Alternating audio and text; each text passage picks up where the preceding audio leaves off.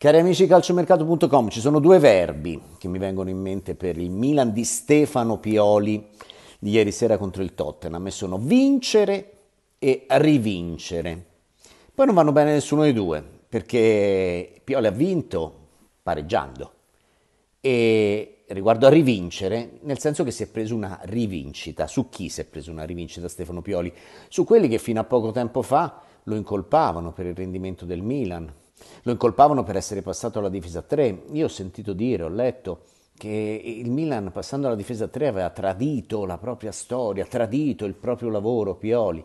No, era la soluzione evidentemente migliore e prima di dire o di scrivere certe cose, sia che uno è un influencer o presunto tale del web, sia che è un, è un, è un santone con, eh, con, tanti anni di, di, esperienza, secondo me non dovrebbe dimenticare che comunque l'allenatore, e soprattutto un allenatore come Pioli, prima di fare un cambiamento, ci pensa, lo prova, sperimenta e soprattutto non lo fa mai a cuor, a cuor leggero. Questo è Stefano Pioli, un personaggio che è l'antipersonaggio, perché a parte il, il coro, no? la ballata popolare Pioli's on fire, al quale anche lui si è fatto trascinare, perché insomma personalmente l'ho trovato anche un po' simpaticamente, eh, come dire, eccessivo anche, quando si metteva a ballare insieme alla curva Pioli's on fire, però a parte quello è un personaggio schivo, un personaggio educato, un allenatore che non si lamenta, un allenatore di società, un allenatore che ha avuto tante esperienze,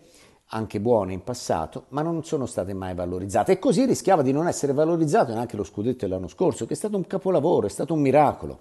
Questo Milan non era l'anno scorso la squadra più forte del campionato italiano, probabilmente quest'anno non è tra le squadre otto più forti del, dell'Europa, eppure è lì. Perché?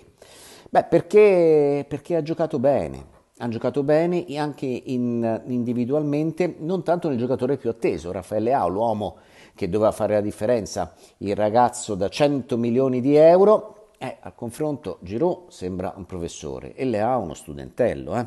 questo almeno si è visto contro il Tottenham. E poi ha vinto il Milan perché come gioco, come collettivo e come individualità è andato meglio del Tottenham di Antonio Conte. Ecco, tutto quello che è Pioli, Antonio Conte non lo è tanto, o almeno non gli viene tanto naturale, diciamo così, essere un uomo di società. Si è sempre lamentato e una volta non andava bene questo, una volta non andava bene quello. Ora non è diventato all'improvviso Conte un allenatore che non è più buono a nulla, anzi tutt'altro, resta sempre un top eh, allenatore, ci mancherebbe. Però, però la lezione di Pioli e del Milan al Tottenham e a Conte va ben oltre questa qualificazione, secondo me, questa partita, perché è più ampia, significa anche una lezione su come bisogna comportarsi con eh, la, la, società, eh, con, uh, la, nella comunicazione, significa che non sempre chi si agita di più ha ragione, chi, chi, chi strilla di più ha ragione, chi è più negativo ha ragione, no, significa tutt'altro. Una volta Pioli lo chiamavano normal one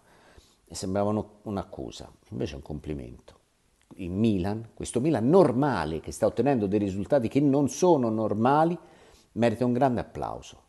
E posso dire personalmente, avevo fatto un pronostico che sono contentissimo di aver sbagliato. Io pensavo passasse il Tottenham, sono strafelice, come tutte le squadre italiane che vanno avanti in Champions, ma questa ancora di più, di aver sbagliato un pronostico. E sono proprio contento che il Milan vada avanti, perché sono contento di applaudire il Milan, i suoi giocatori e un grande allenatore.